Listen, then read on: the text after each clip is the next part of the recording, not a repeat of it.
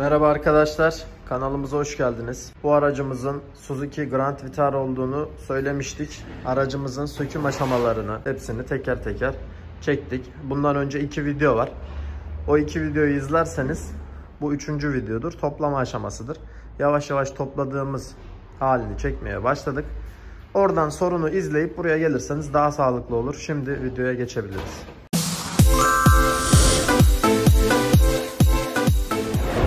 Aşamalarında krangımızın çizikleri olduğunu bahsetmiştik. Yaralanmaların olduğunu bahsetmiştik. Krangımız taşlandı ve artık çiziklerden eser kalmadı. Şöyle gösterecek olursak taşlamadan geldi arkadaşlar. Buranın halini zaten bilenler vardır. Şimdi kapatıyoruz. Ana yatak değişti bu arada. Tabii ki bak. Burada ana yataklar bak. Ana yataklar burada. Hemen onu gösterelim. krangın altında karşılığı. Hemen kapatalım baba sıvı conta kurumadan. Krank taşlandı. Ana yataklar değişti. Yavaş yavaş zaten toplama aşamalarını çekiyoruz. Burada değişen bir parçamız daha var baba. Arka krank keçesi. Evet. Bunu da değiştirdik.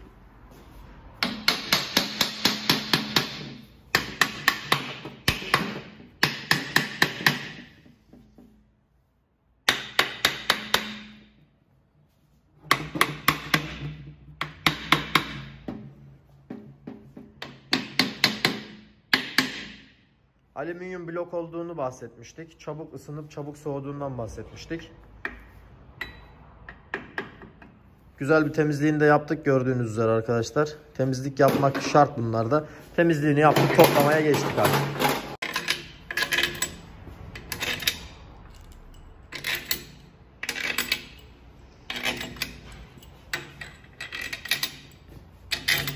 Geza yataklarını montaj ettik yerlerine. Evet Geza'ya da değinelim. Geza yataklarımız da montajını gerçekleştirdik.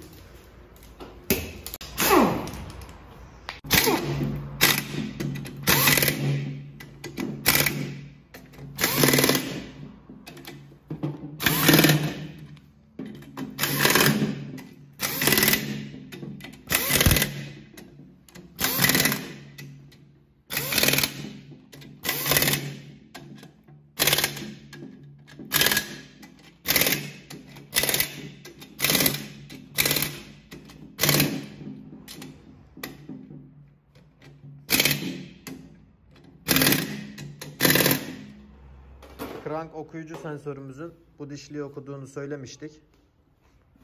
Burada yağ pompamızın zincirinden bahsetmiştik.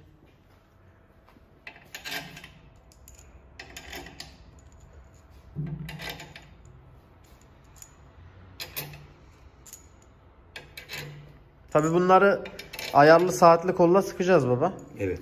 Saatli kol çünkü motorun iç aksamlarındaki civataları saatli kolla sıkmamız gerekiyor. Tork anahtarı da diye geçer.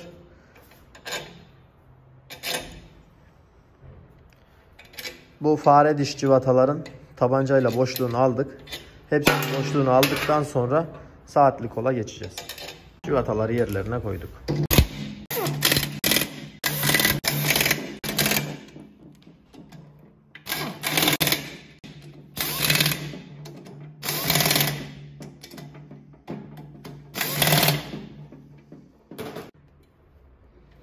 Bu işlemi yaptıktan sonra tabii ki sıkıyoruz. Krangımızda bir sıkışma var mı? Dönüyor mu, rahat mı? Onu kontrol etmemiz gerekiyor. Gayet güzel. Şu an bir problem gözükmüyor. Güzel bir şekilde krangımız dönüyor. Civataların da tabancayla boşluğunu aldık. Birazdan tork anahtarıyla sıkacağız. Bloğu tutan şu civatayı sökmek için paleti biraz öne almamız gerektiği için bu civata gevşek görüyorsunuz.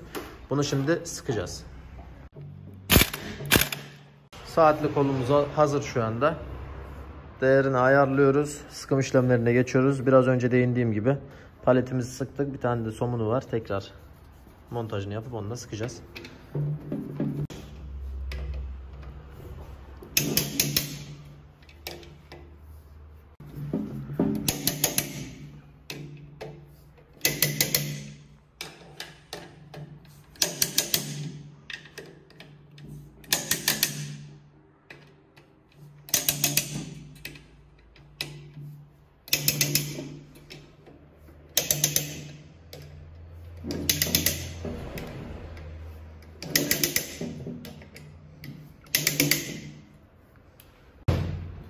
Ayarlı saat tork anahtarıyla sıkım işlemlerini bitirdik. Ana keplerimizi sıktık.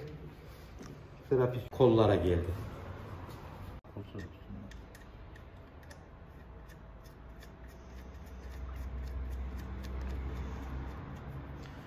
Bunu sıkalım baba. Toplama esnasına geçtik. Arkadaşlar parçalarımızı orijinal kullanıyoruz bu arada.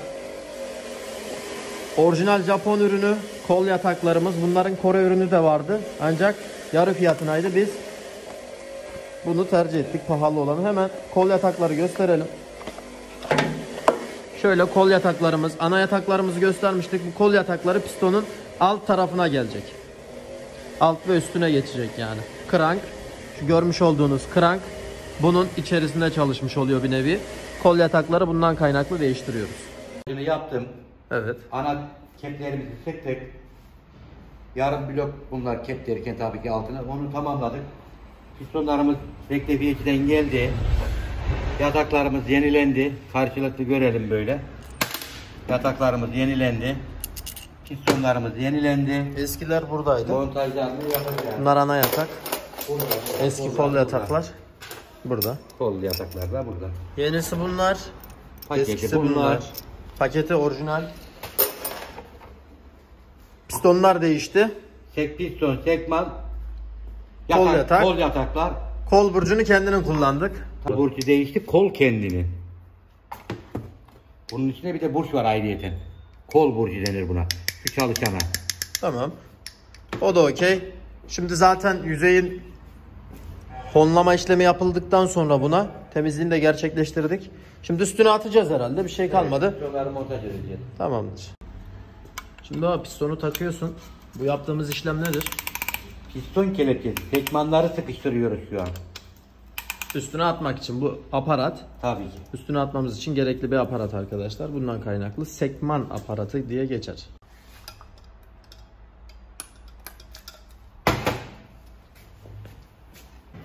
Bu şekilde yerine montajını gerçekleştiriyoruz. Bu bölümü pek fazla uzatmıyorum arkadaşlar. 4 pistonu da takıp devam edelim. Alttan gösteririm zaten. Burayı son kez görün daha sonra göstermeyeceğiz. Çünkü pistonlar geçiyor artık. Buradan pistonlarımızı Sen bak ben gönderiyorum. gönder baba. Hem de çekmiş olalım buradan. Geldi. 4. 4 mü? Gönder. Tamam.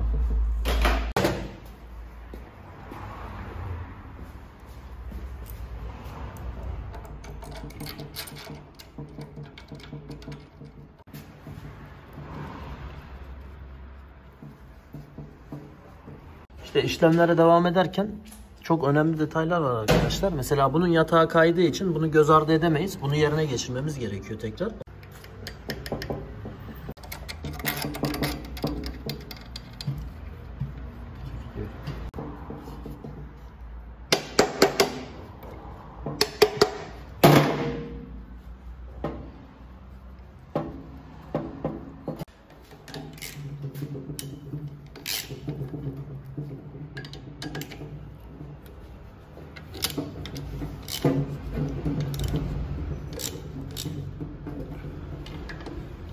İşleme rektifiye diyoruz herhalde baba. Evet.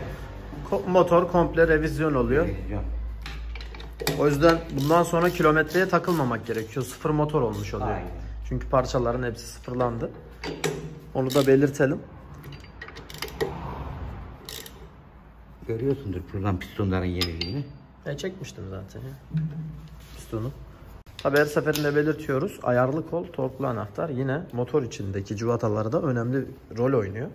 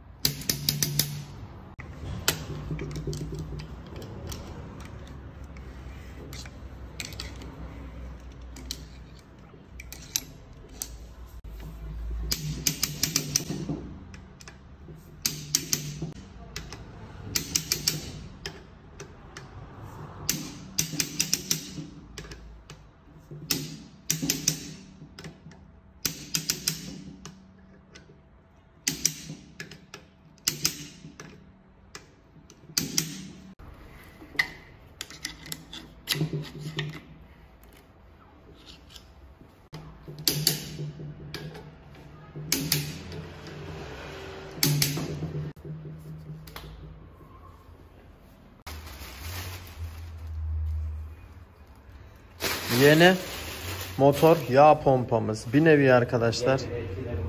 Bir nevi aracımızın kalbi. Kalbini değiştiriyoruz. Şöyle. Eski ile yeni. Burada farkı görebiliyoruz. Bu çok önemli baba. Bu işlemi yapıyorlar. Rektifiye yapılıyor. Ancak yağ pompası değiştirmiyorlar. Bu konuda ne demek istersin? Ne söylemek istersin?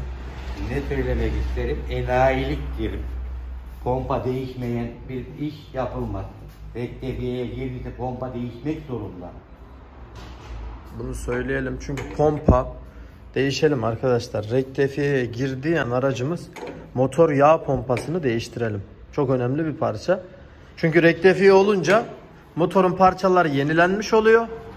Eski basınç yeni parçalara yetmiyor. Yetmiyor.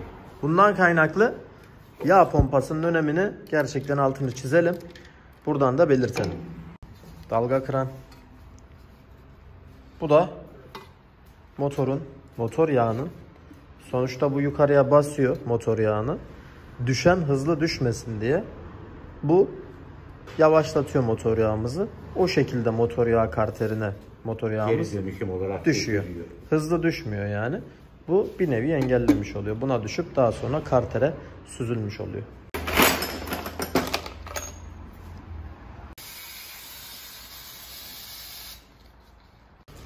Crank sensörümüz.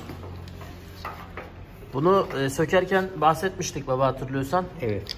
Bir problem varsa ölümdü değişmesi. Ya motor inecek ya da şanzıman inecek demiştik. Ama bu şekilde olduğu için hiçbir problem olmuyor. Tek bir cıvata tutar. Hareket algılayıcıdır. Bozulduğu zaman hareketi algılamaz. Aracımız çalışmaz.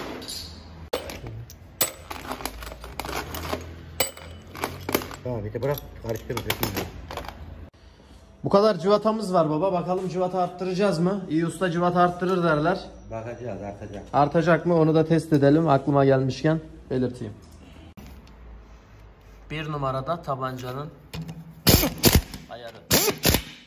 Şunu nasıl kaldı? Bu şekilde. Crank okuyucu sensör.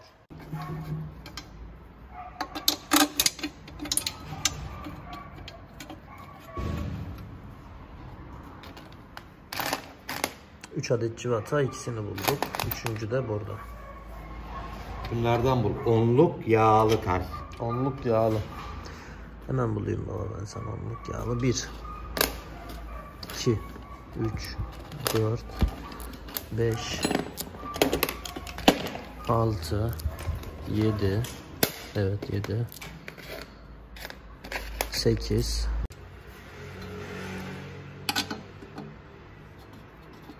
Yağ pompasının 1 2 3 adet cıvatasını sıktık. Dalga kıranın cıvatalarını koyduk yerine.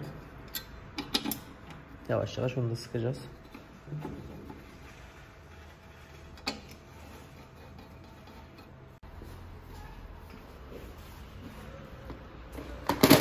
Yağ pompasının eski yağ borusunun üzerinden alacağız. Bunu kullanıyoruz.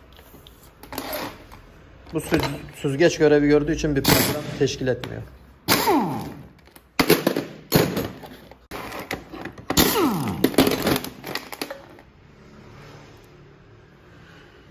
At şöyle. Şöyle atayım ya. Tıkanık bir şey yok.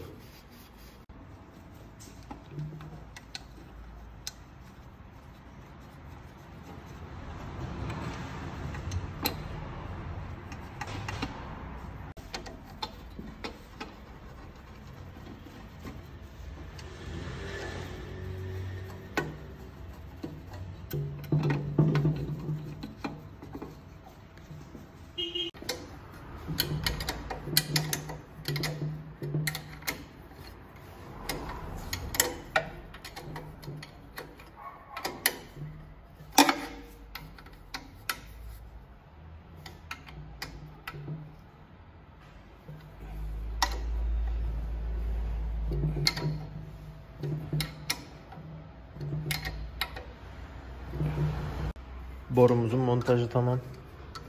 Dalga kranımızın bir adet civatası kalmıştı. O da boruyla beraber sabitleme civatası.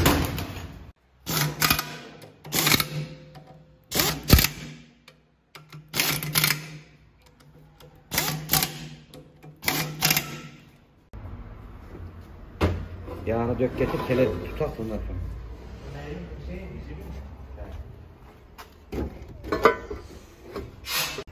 Karterimizin yüzey temizliğini yaptım. Gördüğünüz üzere tele tuttuk. Pürüzsüzlük zaten videoda belli, oluyordur. Pürüzsüz bir hale geldikten sonra eski sıvı contalarından arındırdık. Şimdi bir yıkayalım isterseniz.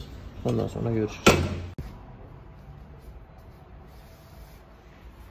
Temizlikten sonraki hali karterimizin. Şöyle detaylı bir şekilde çeker seker. Benzinle yıkadık. Basınçlı benzinle yıkadık. Bu hale geldi. Yüzeyimiz artık hazır. Sıvı contasını çekip kapatacağız. Burada da volant dişlimiz var. Evet. Onun da temizliğini benzinli basınç yardımıyla yaptık. Siliyoruz şu anda. Sıvı conta işleminden sonra güzel bir şekilde tek başıma yaptığım için arkadaşlar mecburen orayı gösteremedim. Sıvı contayı güzel bir şekilde fazla sürmeden yeterince sürdüm. Şimdi civatalarımız zaten iki tane saplama var. Ön kapağa gelen yere sürmedim. Şimdi civatalarını takabiliriz.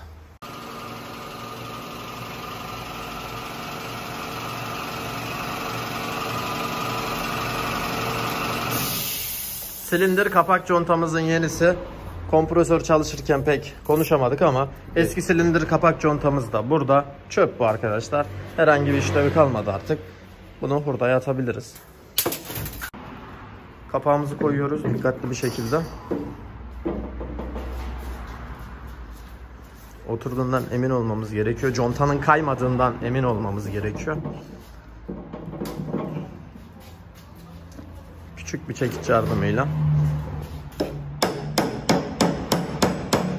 Geçtiğini hissedebiliyor muyum? Geçti baba aynen. Kamerada da göründü. Geçtiğinizde buradan gösterdim.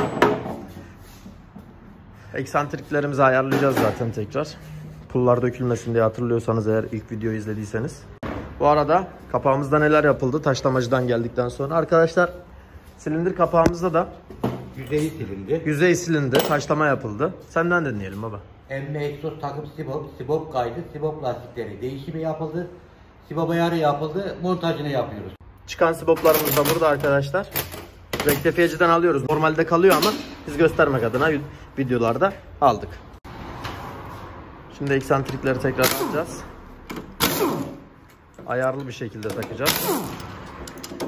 Bunların da ayarı var çünkü. Sökülmedi. Civataları aldık. Bunlar eksantriğin civataları.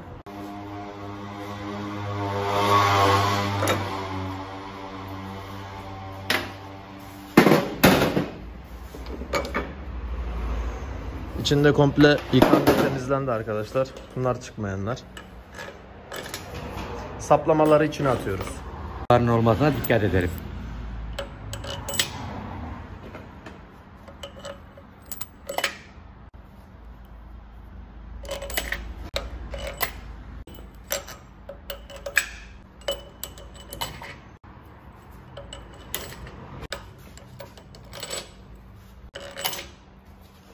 Civataları yerine koyduk. Şimdi tutturacağız üzerine. Daha sonra devam edeceğiz. Tabi tuttururken karşılıklı çaprazlama Z şeklinde sıkıyoruz. Boşluk tutturma aşamasındayım. Diş kapmaması adına tuttuğuna emin olmam lazım. Çünkü tabancayla biraz boşluk alıp daha sonra saatli kolla civatalarımızın torkla, tork anahtarıyla sıkımını bitireceğiz.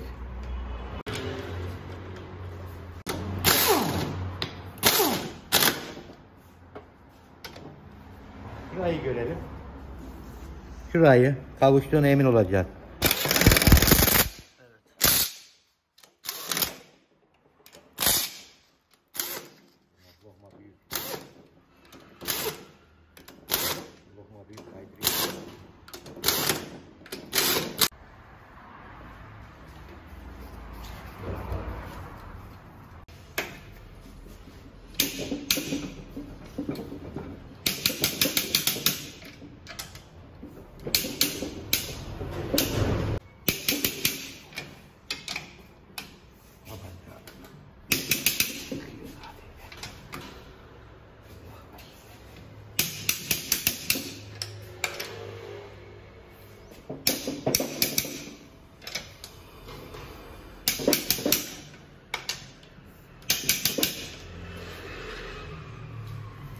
Saatli kol, tork anahtarı işi bitti.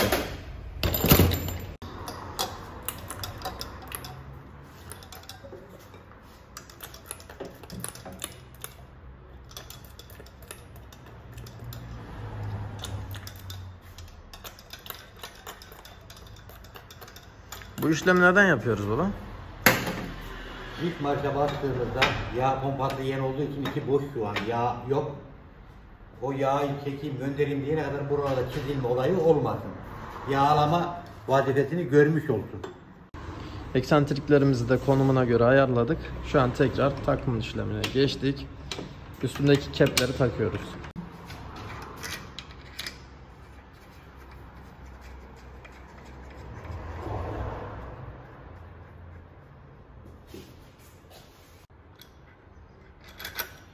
Şöyle zinciri koyunca.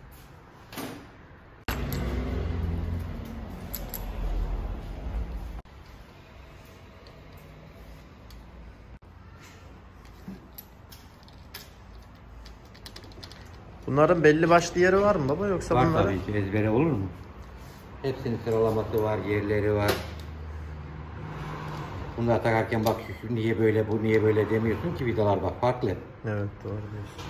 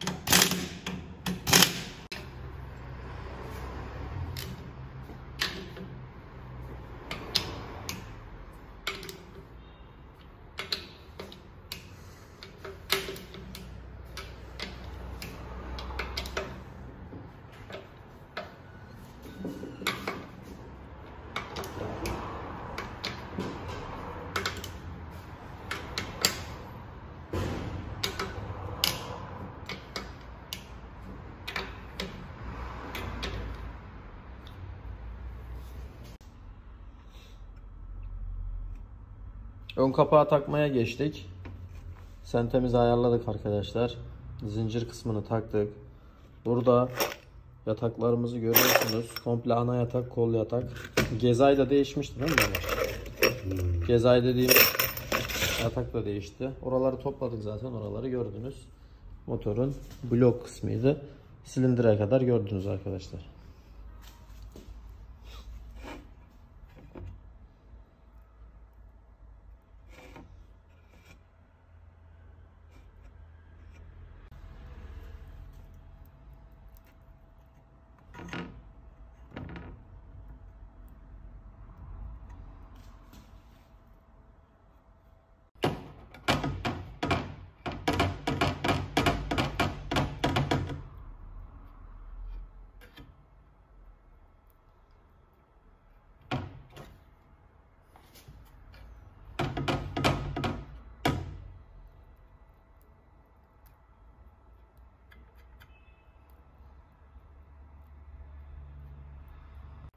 Bunları dikkatli çekmemiz gerekiyor bu sıvı conta işlemini.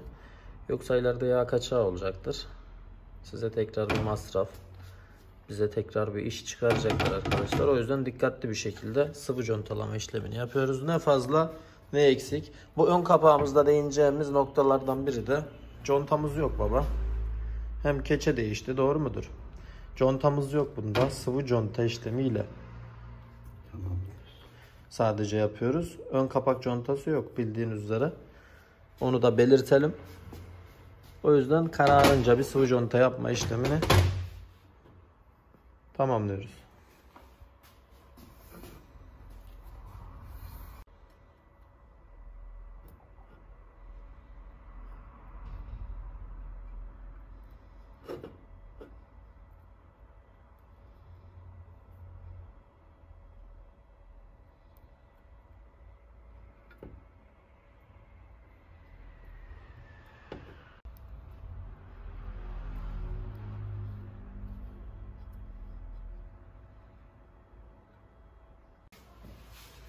Babam ön kapağı takarken arkadaşlar burada golf aracımızın malzemeleri var.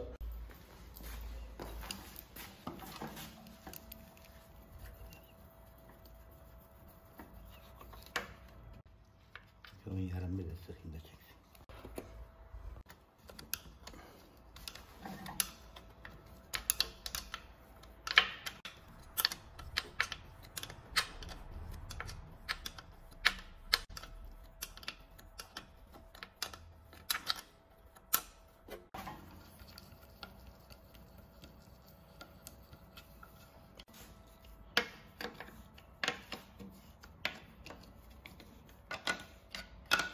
Bir tane de buraya.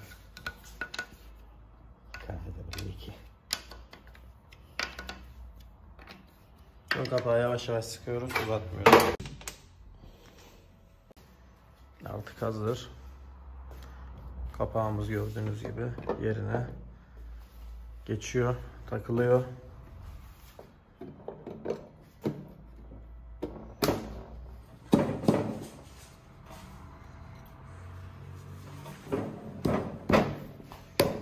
Gördüğünüz gibi oturttuk. Yavaş yavaş topluyoruz. Civata artacak mı diye ilk videoda söylemiştik. Burada civatalarımız var motor bölümünün. Bir de dış kaporta bölümünün orada civatalar var. Şimdi takalım arkadaşlar.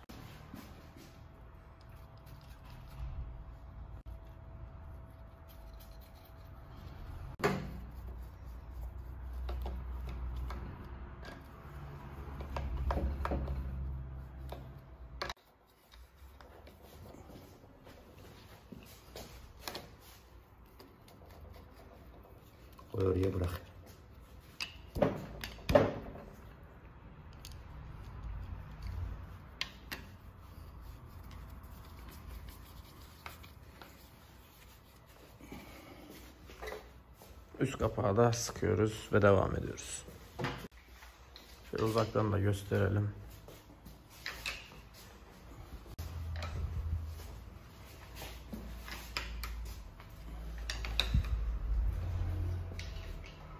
Ya taşı almasın diye böyle altlara conta yaptık de.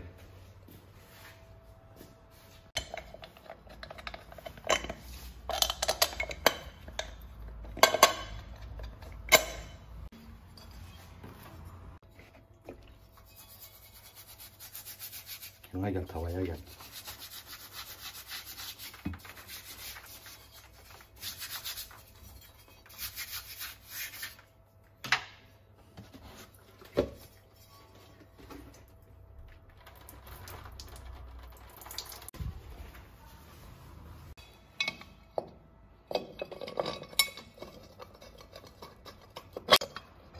Böyle attı kafayı sallar durur araba. O yüzden o lastikler önemli. Tabii ki. Bakın arkadaşlar 1, 2, 3 birinin yok. Önemli bu. Ama var yani. Enjektörün üstündeymiş problem yok.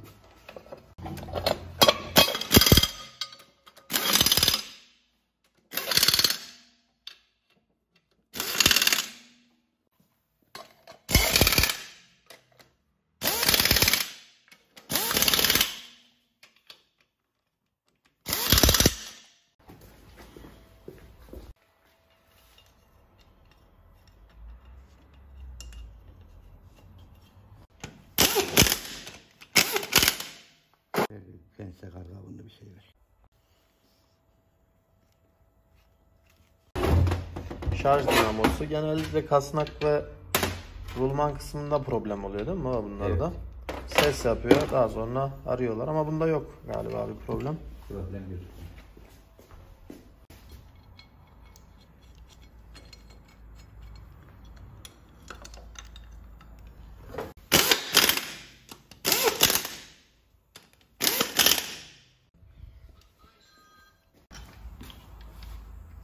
Şarj dinamosunun montajını bitirdik. Demir ayağımızın montajını bitirdik. Şimdi sıra geldi gergi rulmanlarımıza. Şimdi şöyle değinelim baba. Bu kompleydi. Toplamda baba 350 lira gibi bir tutarı oluyordu. Eğer komple değişseydi bu şekilde. Komple. Ama biz bilyayı şu şekilde bilyaları aldığımız zaman arkadaşlar 150-200 lira civarında tam hatırlamıyorum. 70 liraydı galiba tanesi. Rulmanları içerisine çakıp bu şekilde halledeceğiz. Gergi rulmanımızdaki sesi de çözmüş olacağız. Birinin montajını bitirdik. Bu şekilde rulmanımız takıldı. İkincisine geçiyoruz. İkincisinin montajını da bitirdik. Şöyle görebilirsiniz. Montaja geçtik. Birinin montajı bitti. Gergi kütüğü değiştiğimiz rulman. Buranın.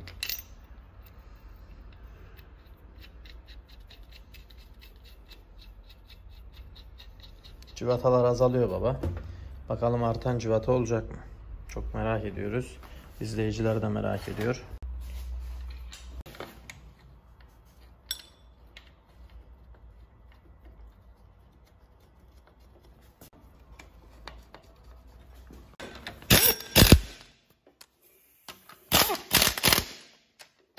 İki gerginliğinde rulmanları değiştikten sonra montajını gerçekleştirdik. Gezme vardı arkadaşlar. Şu an onu da hallettik. Şu an bir problem yok rulmanımızda.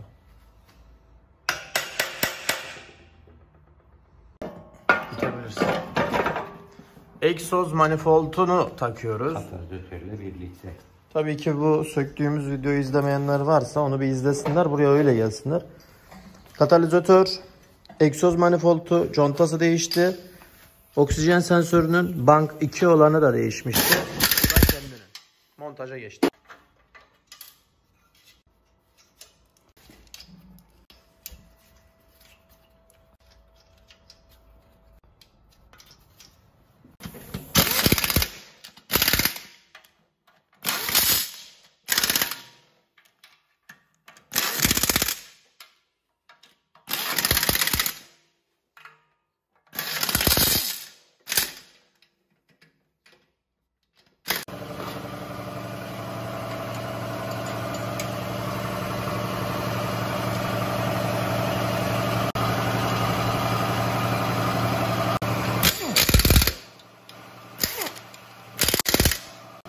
Demir bir ayak vardı. Demir ayağı egzoz manifolduna geldiği için iki civatasını demir ayakla beraber sıktık. Bu demir ayak nedir baba? Aracı askıya almak için mi kullanılıyor? Evet. Arkadaşlar buranın civatası söktüğümüz zaman yoktu. Civata arttırmak yerine civata tamamlıyoruz. Buna bizden bir civata uydurup buraya takıyoruz. Orijinal Japon. Orijinal Japon civatası. Yine müşterimiz şanslı baba. Orijinal civatalar takıyoruz bu arada.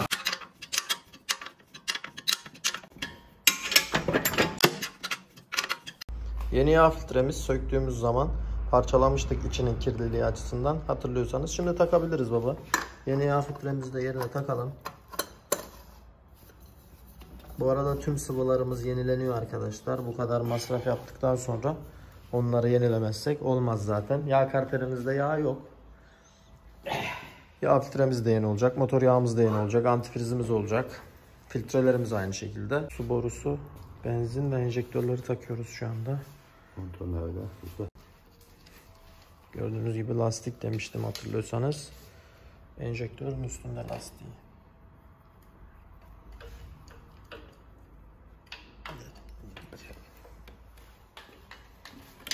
Bu arada motorun son görünümünü şöyle çekelim.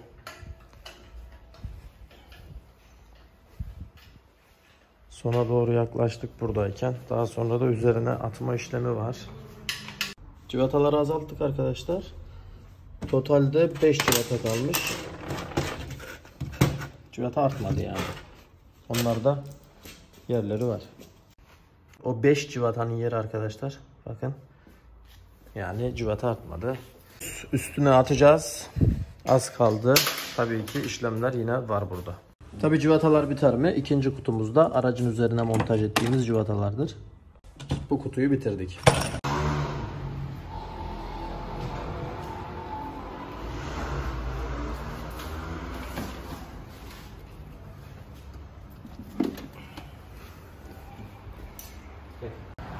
Motor kulağı kopuk.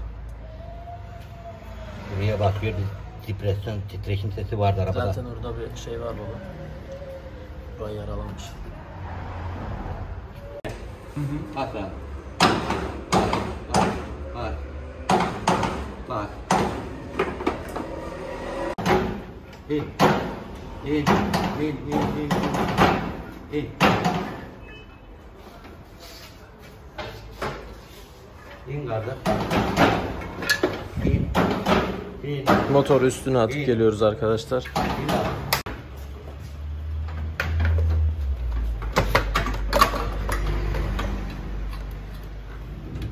Arkadaşlar motorumuzu bindirdik. Görmüş olduğunuz üzere aracımız Suzuki Grand Vitara'ydı. Komple motor rektifiye işlemi oldu. İlk iki videosunu zaten izleyip buraya gelmiş olmanız gerekiyor. İzlemediyseniz buradan sonrasını onu da izleyebilirsiniz. Tercih meselesidir. Şimdi kaputu aldık arkadaşlar. Motor kaputumuzu ilk ilk başta soranlar olmuş. Çalışma alanımız olmadığı için 2000 motor olduğu için üstten motorumuzu almak durumundayız. Bundan kaynaklı olarak çalışma alanı kalmıyor. Gördüğünüz gibi buralardan motor kalktığı zaman motor kaputu şuralarda yani örtü şekli örtüyor diyebiliriz baba. Çalışma alanımızı kısıtladığı için mecburen almak durumundayız. Yapacak bir şey yok. Ee, bunu belirtelim öncelikle. Onun dışında arkadaşlar alttan da alamıyoruz. Alttan çünkü diferansiyel, dört çeker, e, traves, şanzıman komple almak gerekiyordu. Bundan kaynaklı bizim işimiz motorda olduğu için bu şekilde aldık. Motorumuzu attıktan sonra şanzımanın çevre civatalarını takıyoruz. Çevre civatalarından ikisini taktık. Kaç tane taktık baba? Üç tane taktık, bir tane de altta var. 2 tane kaldı. 5 tane toplamda çevre civatası varken şu an babamın sıkmış olduğu yer türbündür. Tork konvektörünü sıkıyor şu anda arkadaşlar. Yavaş yavaş zaten işlemleri göreceksiniz. Marş motorumuz. Türbünlerin civatasını sıkıyor babam. 6 adet civatası var. Onu da belirtelim arkadaşlar. Marş motorumuzda herhangi bir problem yoktu. Bir sorun yoktu. O yüzden marş motoruna bir işlem yapılmadı. Birazdan takacağız.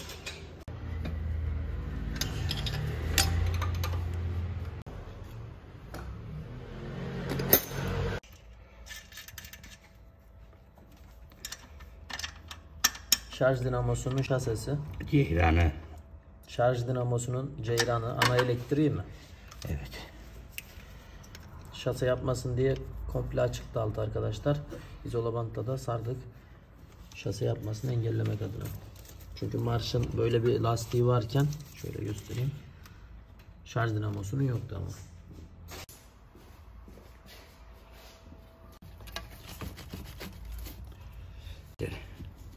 Kaloriferimizin su girişleri.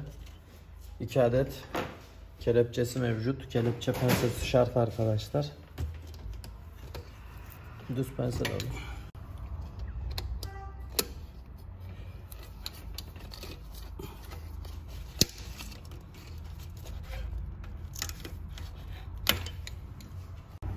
Bu delikler gördüğünüz üzere emme manifoldunun bastığı deliklerdir. Emme manifoldumuzu göstereceğiz birazdan. Arkadaşlar babam burada emme manifoldunun temizliğini yaparken ben de gaz kelebeğini temizledim, yıkadım. Şöyle gösterelim. Gaz kelebeğimiz. Bu araçlarda gaz kelebeğinin ada- adaptasyonu şarttır. Gaz kelebeğine adaptasyon yapmamız lazım. Bundan kaynaklı bu tarz araçlarda Bilmiyorsanız oynamayın gaz kelebeğiyle. Çünkü daha sonra rolantiniz bozulabilir. Rolanti tutmaz.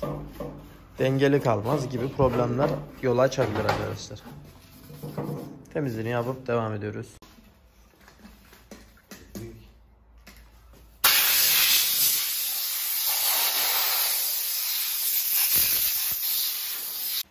Baba videoya başladım. Şimdi çok fazla çekemedim motoru bindirdikten sonra. Neler yaptık? Bunları kısaca bir bahsedelim. Motor altındayken çekmiştin zaten. Motoru yerine indirdik. Ve bütün elektrik tesisatı, hava hortumları, yakıt hortumları, su hortumları, bütün egzoz civataları, emme manifold civataları, motor şanzıman edraf civataları, şanzımanımızın türbin civataları, marş motoru, şarj motoru, V kayışımız, filtre grubumuz, hortum, kelepçe, elektrik tesisatı, suyunu, yağını koyup marşına basacağız arabamızın.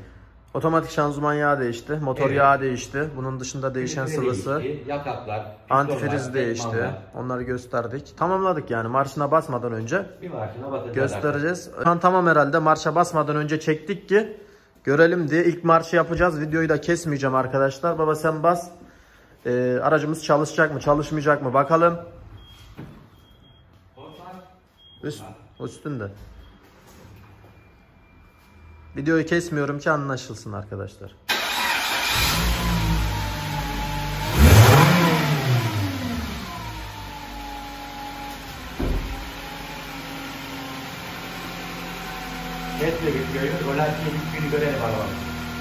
Evet şu an yüksek çalışıyor. İlk çalıştırmada arkadaşlar belirli bir süre yüksek çalışır.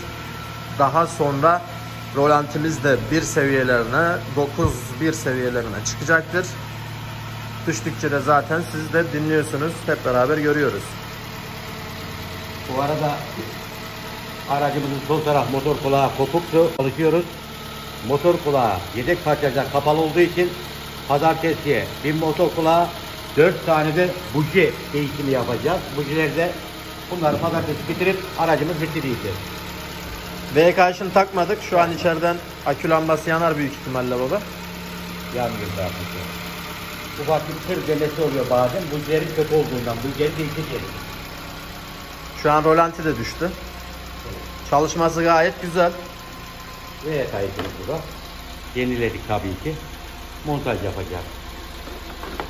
Çalışması iyi baba. Evet, Herhangi bir problem yok. Hayır. 2000 benzin, Suzuki Grand Vitara. Her şey elden geçti. Takarken biraz çekemedik arkadaşlar çünkü alanlar dar kısıtlıydı. Bundan kaynaklı olarak çekemedik. Dediğim gibi tüm sıvıları değişti. Antifriz konuldu. Motor yağı konuldu. Direksiyon yağımızı da tamamlayacağız. Eks- Direksiyonu döndürdük. Üstüne ilavemizi de yapıyoruz. Tebi marka kaliteli bir üründür arkadaşlar. İnternetten bakabilirsiniz. Bu tür yağları öneriyoruz. Kullandığımız motor yağı 530. Evet. Castrol H arkadaşlar aracımızın içerisine geçelim.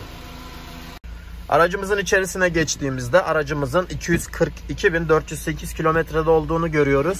Artık bu kilometre sayılmaz diyebiliriz. Neden? 01 motor yaptık arkadaşlar. Motor rektifiye işlemleri, tüm sıvı bakımları yapıldı. Sıfır oldu diyebiliyoruz. Kilometreyi o yüzden artık satarken de olsa baz alınması gerektiğini belirtelim. Onun dışında 0.9 demiştim. Şu an 1 ile bir tık altında 9'un arasında olması gereken seviyede rolantimiz, devrimiz okey arkadaşlar. Bunun dışında V kayışımızı takmadığımız için akü lambamızın yandığını gösterdik. Buradan da görebiliyorsunuz. Burada da arkadaşlar emniyet kemerimiz. Bunu sürücü taktığında o da sönecektir. Aracımızın içerisinde hararetimiz şu an 90-70-80 civarlarında. Ee, onun dışında ne diyebiliriz? P konumundayız. Otomatik vites geçişlerine bakalım. Herhangi bir ses var mı?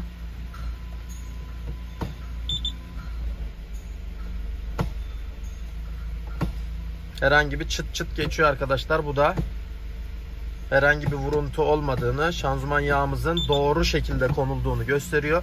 Otomatik şanzıman yağlarını doğru şekilde koyduğumuz zaman bizlere problem yaratmıyor. Değişmez diyen ustalarımız, kişiler tarafından da bunu kesinlikle kabul etmiyoruz. Otomatik şanzıman yağı, manuel şanzıman yağlarını kesinlikle değiştirin. Çünkü bunlar bir sıvı arkadaşlar. Bir sıvı antifriz değişir, su değişir, hidrolik değişir, ATF direksiyon yağları değişir, şanzıman yağları değişir, motor yağları değişir. Bunlar ölümsüz, e, ruhani bir varlık olmadığı için bundan kaynaklı değiştirmenizi tavsiye ediyoruz. Yanlış işlemler yapıldığı zaman Stop ediyorum. Bunlar yanlış yapıldığı zaman yanlış işlemler sorunlarla karşılaşabilirsiniz. Normalde aracımızda üfleme olur baba. Mesela motoru problemli olan araçlarda. Bunda nasıl bir tepkime oluyor bir göster. Motor üfleyen araçlardan açtığımızda buradan mavi duman gönderir. Bunal, bunalma dumanı, kompresör basıyor. Bunda ise motor yapılan arabada tak. Kapı açıp diye çekiyor. Gördün mü? İçine çekiyor değil mi? Abi Bu da kompresörün sağlıklı. sağlıklı olduğunu gösteriyor. Onu da söyleyelim, belirtelim arkadaşlar. Sıfır bir motor yapmış olduk. Tabii ki. yok. Sıfır Bunlar kilometre. Bunlar tamamen yerine geçti. Siboplar. Siboplar yerimiz. Çalışması da gayet iyi. V kayışını da taktık. V kayışımız da dönüyor şu anda. Ve çalışmamız da güzel. Sadece katalizatörün bir üst koruması var burada. Motor kulağını değiştirir mi? Motor kulağı var. O yüzden takmadık. Sağ motor kulağı, sol taraf. Videoya göre sağ taraf kulağımız da kopuk. Araca göre çok. Sıra geldi. Komple bir test yapmaya arkadaşlar. Kontağımız açık bir pozisyonda. Aracımızın arızalarını tespit ediyoruz. Şu an için transmisyon ECM'de herhangi bir arıza kodu vermedi. ABS sisteminde bir arıza kodu verdi. Bakalım devam edelim.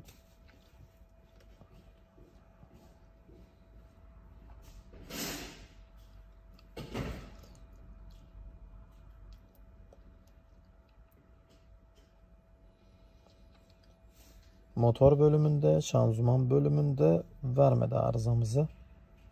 Bir ABS de var. O da büyük ihtimalle önemsiz bir arıza olduğunu düşünüyorum. İçeriğine bakacağız tabii ki.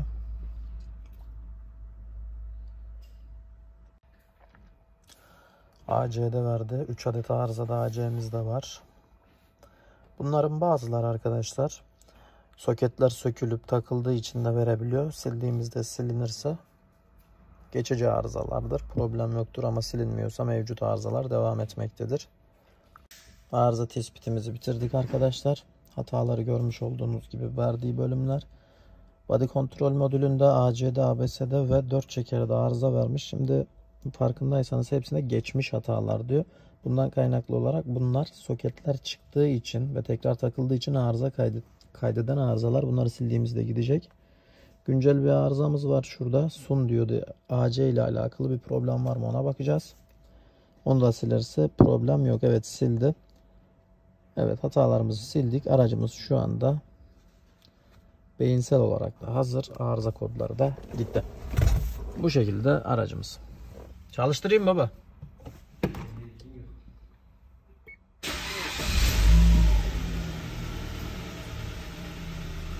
Gördüğünüz gibi saat gibi, kitap gibi çalışıyor. Bazı kullanıcı yorumları aldık. Bazı abilerimiz YouTube'dan da yorumlar yapmış. Bu motoru nasıl toplayacaksınız diye. Toplanmış halde bu şekilde izliyorsa ona da selam olsun. İstediğimiz şekilde çalışıyor. Devir saati de güzel. Arkadaşlar herhangi bir problem yok. Uzun uğraşlar verdiğimiz Suzuki Grand Vitara aracımızın artık sonuna geldik. Aracımızı çalıştırdık. Kulaklarını değiştirdik. Kulağı biliyorsunuz ki bekliyorduk arkadaşlar. Motor temizliğimizi gerçekleştirdik. Artık müşterimizi bekliyoruz. Aracımızın son hali bu. Çok güzel bir çalışması var. Tüm işlemleri gördünüz. Kanalımıza abone olmayı, bizleri desteklemeyi unutmayın. Suzuki Grand Vitara ile sizlerleydik. Otomatik şanzıman yağımız Arkadaşlar yaklaşık 8 litre civarında alıyor. Boşaltacağız şimdi. Şanzıman yağı değişmez diyenler var. Ona da hem bir video niteliğinde kanıt olmuş olur. Siz de değiştirmiş olursunuz.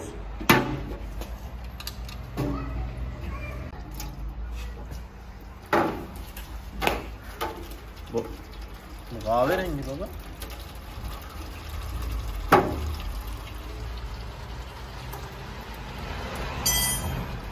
Bu normal şanzıman yağı mı? Kokusu andırıyor çünkü de öyle.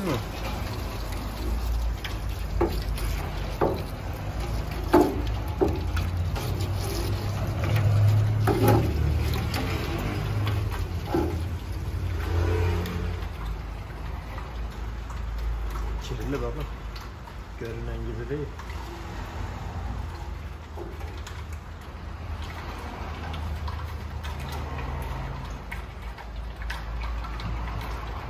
Yaklaşık 7-8 litre civarında alıyor.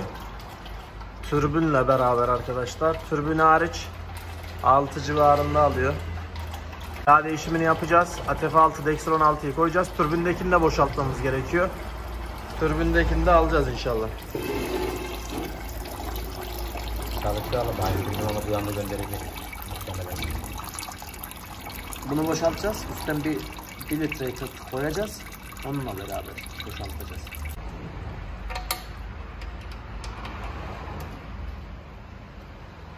Bir araba. Tamam. Tamam dolduralım.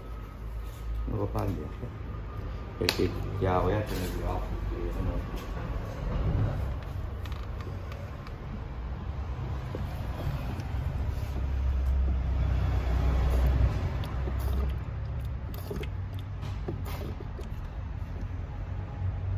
Biraz şöyle bir.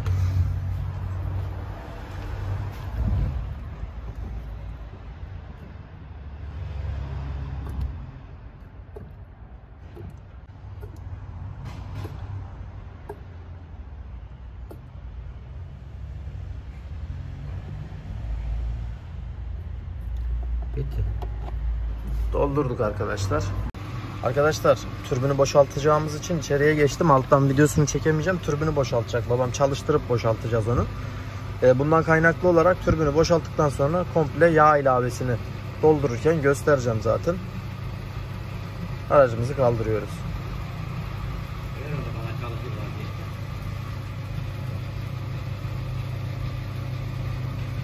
Şanzıman yağlarında mutlaka Dextron 6 ifadesini görmeniz gerekiyor. Dextron 6'yı koyun. Arkadaşlar 6 litre var burada. Litrelik satılır genelde bunlar. Üçlük, beşlik tarzında satılmaz. 1 litre olarak satılır. Otomatik şanzıman yağlarıdır.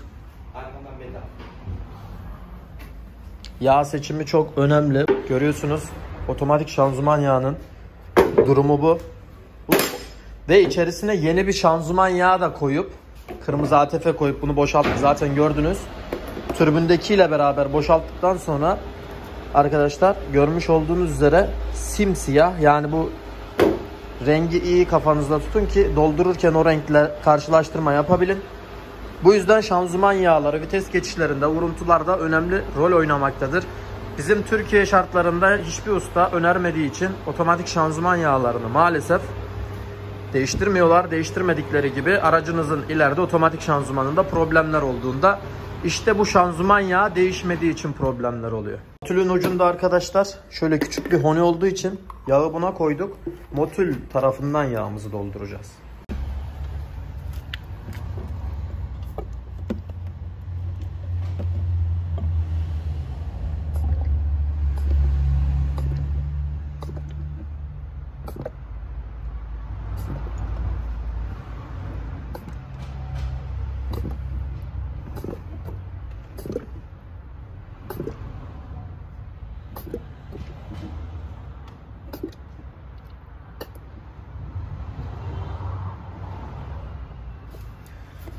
İlk 1 litreyi bitirdik. Sıra ikinci 1 litrede.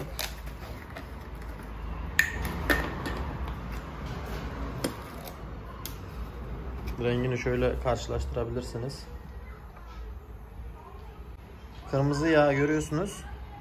Olması gereken ATF Dextron 6 ifadesiydi. Ve bu yağı kullanıyoruz.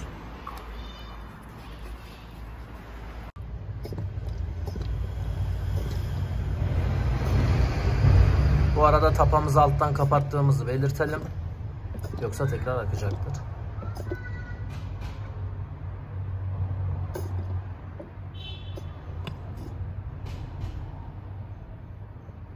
İkinci de bitti galiba. Evet. evet.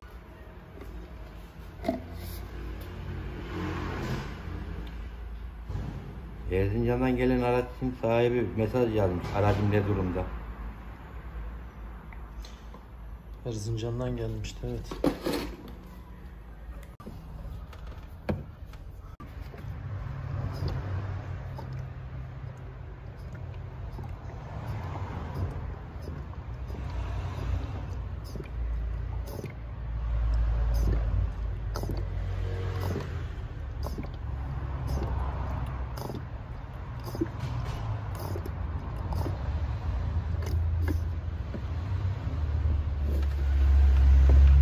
3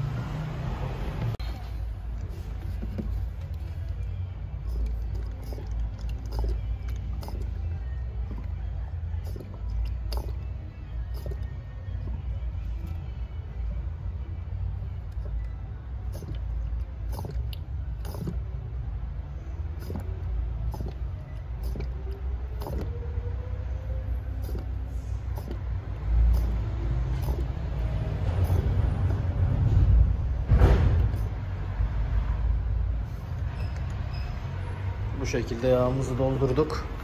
Şimdi kontrol zamanı. Araç çalışırken R konumundayken çubuğumuzun seviyesine bakmaktır. Bundan kaynaklı aracımızı çalıştıracağım şimdi.